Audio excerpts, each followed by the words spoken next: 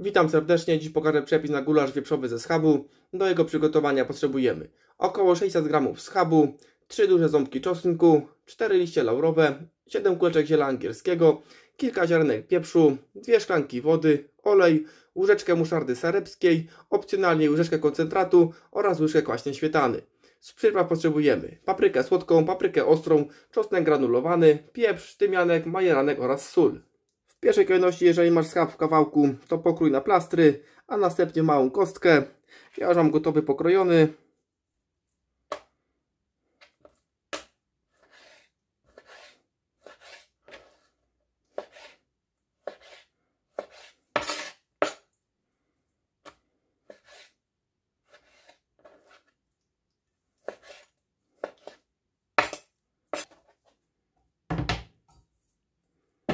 Do miski wlewamy 4 łyżki oleju, ewentualnie oliwy. Oczywiście plus minus.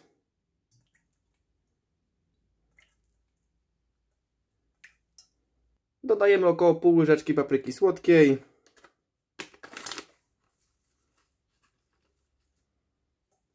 Pół łyżeczki czosnku granulowanego. Ja używam staropolski.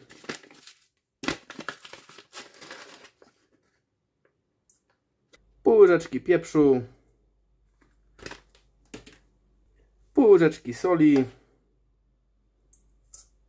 oraz odrobinę papryki ostrej, ewentualnie chili. Mieszamy. Przekładamy schab. Obtaczamy w marynacie i odstawiamy do lodówki na minimum godzinę, a najlepiej na całą noc. Minęła godzina, rozgrzewamy mocno patelnię i smażymy schab na złoty kolor, a wręcz brązowy. Im mocniej podsmażymy, tym lepiej. Rozgrzeję patelnię tak do 190 stopni, żeby szybko pozamykać pory, nim puści na mięso wodę, żeby się ładnie obsmażyło.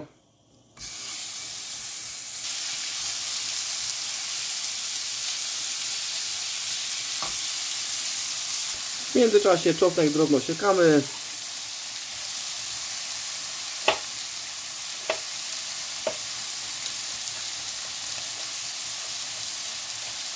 Mocy palnika nie zmniejszamy, smażymy na maksymalnej.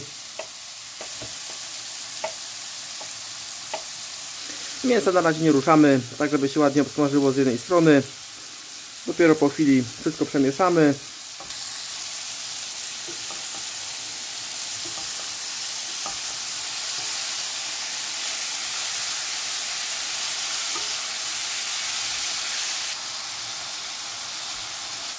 Pamiętajmy, żeby patelnię mocno nagrzać, żeby się mięso zaczęło smażyć, a nie dusić. Już mięso wygląda apetycznie, a to dopiero początek. Tak wystarczy, bo już się mięso chyta patelni. Dodajemy czosnek i niecałą minutę podsmażamy.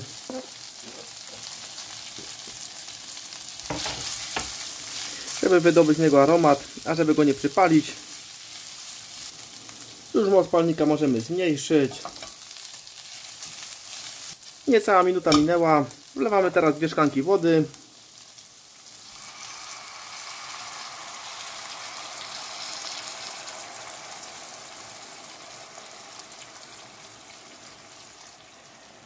Dodajemy 3 liście laurowe.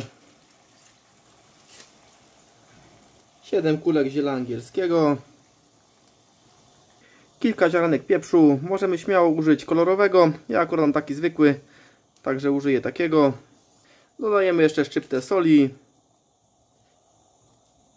Doprowadzamy całość do wrzenia, przykrywamy, zmniejszamy moc palnika i dusimy około godziny. Jeżeli by się okazało, że woda Ci cała wyparowała, to oczywiście odrobinę dolewamy. Jeżeli są za rzadki, to możemy gotować bez przykrycia, ewentualnie zagęścić łyżeczką mąki z odrobiną wody. Dokładamy łyżeczkę musztardy.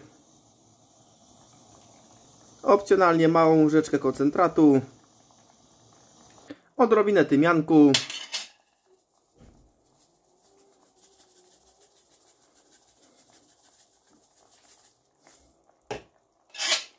Odrobinę majeranku.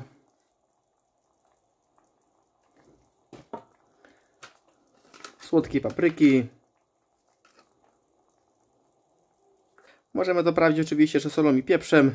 Wszystko wymieszamy, jeszcze chwilkę pogotujemy. Ja sos delikatnie zagęszczę mąką. Tak jak mówiłem, do łyżeczki mąki dodajemy odrobinę wody, mieszamy, dolewamy do sosu. Ja jako, że użyłam samoprzy, która tak nie zagęszcza, dam jej więcej. Jeśli masz problemy z glutenem, ewentualnie nie używasz mąki, możesz się pokusić o gotowanie bez przykrycia. Wtedy nam się sos również zredukuje.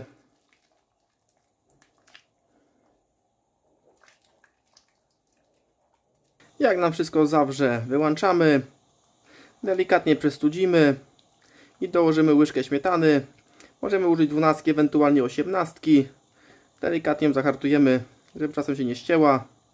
Sos nam się zagotował, delikatnie się zagęścił. Wyłączamy, przestudzimy i dołożymy łyżkę śmietany. Oczywiście możesz ją pominąć, ale jak dodamy będzie delikatniejszy smak. Możemy użyć 12, ewentualnie 18.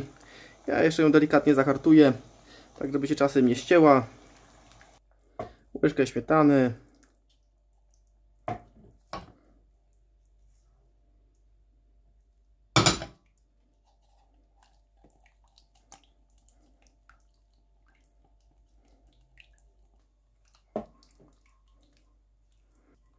Wymieszamy i mamy gotowy. W razie potrzeby doprawiamy solą, ewentualnie pieprzem. Jeśli się przepis spodobał, to się cieszę. Zachęcam do spróbowania. Pozdrawiam i życzę smacznego.